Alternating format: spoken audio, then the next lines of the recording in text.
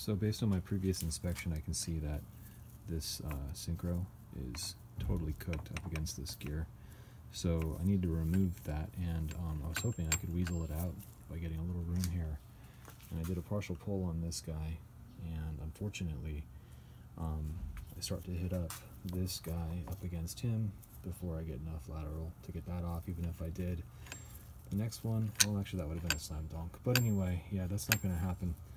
So I have to actually do the whole Ferris uh, breakdown, which is going to be um, pulling out all of the fork and rods and basically everything, tic tacs and all, just to get this off to get to that. So there's that.